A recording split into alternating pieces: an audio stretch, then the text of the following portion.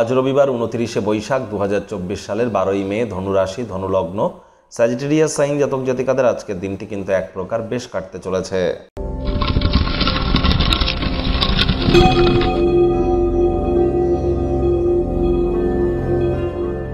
ভিডিওটির শুরুতেই স্ক্রিনে আপনারা দেখতে পাচ্ছেন সূর্যদেবের প্রণাম মন্ত্র।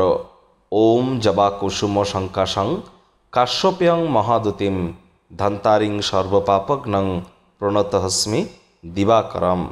আজ সকাল সকাল ঘুম থেকে উঠে তামার বা পিতলের একটি ঘটিতে করে জল, অল্প একটু গঙ্গা জল, কালো তিল, লাল রঙের পুষ্পাদি অর্ঘ্য হিসাবে নিয়ে চলে যান কোনো নদী বা পুকুরে বা বাড়ির ছাদের মাথায়।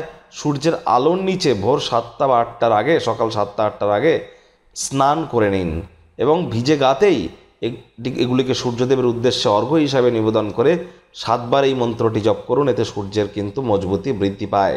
সরকারি চাকরি বলুন সমাজে নাম্মান সম্মান, প্রভাব প্রতিপত্তি লিডারশিপ স্কিল ম্যানেজমেন্ট স্কিল রাজনৈতিক জগতে জয়লাভ, সকল ক্ষেত্রেই কিন্তু সূর্যের মজবুতি অত্যাবশ্যক।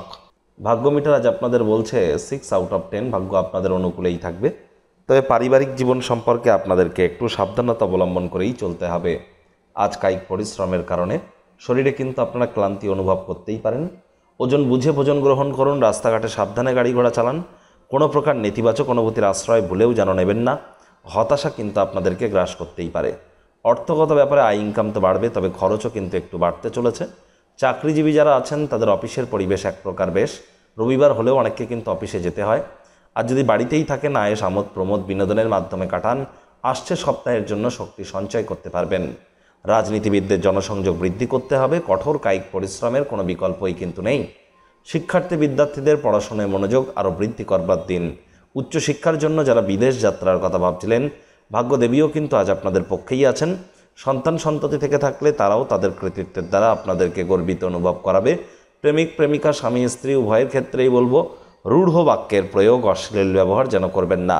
তৃতীয় কোনো ব্যক্তিকে সম্পর্কের মধ্যে যেন প্রবেশ করতে দেবেন না। সম্পর্কের দুর্বলতা কিন্তু আরও বেড়ে যেতে পারে। শত্রুপক্ষ, বিরোধী পক্ষ একটু হলেও শক্তিশালী কিন্তু থাকছে।